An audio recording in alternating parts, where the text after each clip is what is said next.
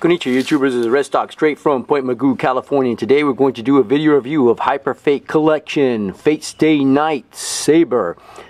Alright, I don't know too much about the anime, let's face it. I'm not a huge anime fan except from the 80s and 90s. So, let's go ahead and take a look at the box. I like the figure, I'm going to tell you that right now.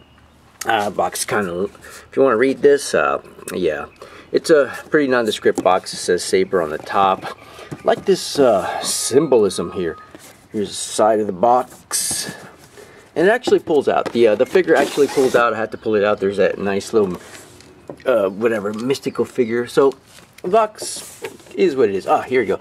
It also has this weird human or real realist, uh, realistic head that really trips me out. But the figure itself isn't too bad. It's not as articulated as a lot of like the Revoltech Figma figures. So you, you're going to have to take it with a grain of salt. Figure does look nice. Stands out really nice. It, uh, I don't know if it, the armor feet, it, it just very stable. It's one of the more stable figures I've ever seen from, this actually comes from Type Moon. I'll show you in the bottom of the box here. Uh, EB Craft Type Moon.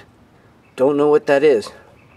So yeah, that's who makes this. It's, it's a little different. It's not uh, your usual collection of uh, people that make that. So Figma's, Revoltech, SH Figuarts. No, it, it's a big figure too. It's about 7 inches. Uh, detail's pretty good. The coloring is really good. I just wish it was more articulated. I like the bow here. It, and one of the things is the neck is does swivel it's on a ball joint but no head swivel or it swivels but only on the neck and it pops out really good which is good because now I can pop off this human face a realistic face, which I really do not like. I, I, rather, I rather prefer the anime face. It, it, it, looks weird to me. It looks real. You know, I, I like the anime face. So that's what it comes with. It does, sorry, so that's easy. Just pop it off. So you can see it's on a ball joint. Yeah, and these are really sharp, so it's really good attention to detail. Definitely not for kids. Uh, does have a knee joint here. Let me set this down, show you the extras it comes with. Of course, the little human head that uh, is all right. And I mean, also has another gauntlet. So that's another.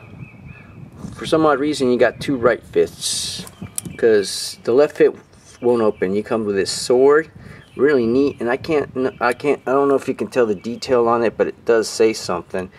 Yeah, nice little sword. Same thing with this one. Good looking detail. I really, really like the detail on that one. Uh, it does unsheath and beautiful, beautiful detailing. I think I could make the hiragana on that, but very nice detail on the swords. Okay, like I said, she has two right arms. As you can see, it's ball jointed. And they just pop off. And I would assume they do. Yeah, they do pop off. now, hopefully, there we go. So, I don't know why you want to use this one. It's just open. But they just pop on. But I prefer this one because this one you can grab the sword. It's made for grabbing swords.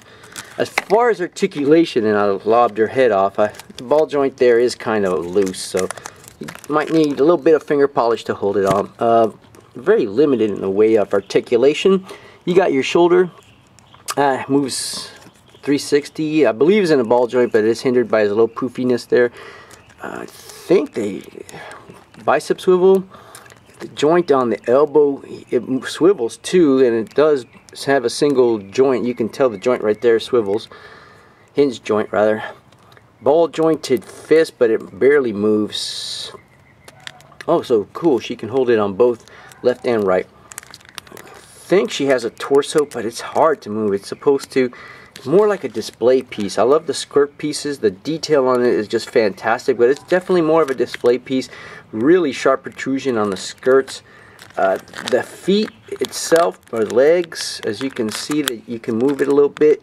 They're on a ball joint. I don't think they have a thigh swivel, but it does move a little bit in and out, up and down. So it has movement, movement on the knee, and I love the fact that the little, forgot the greaves or the knee pads, yeah it doesn't restrict that. And there is a ball joint or sorry it is ball jointed on the ankle. So it does have decent movement for what it is. It's seven inches.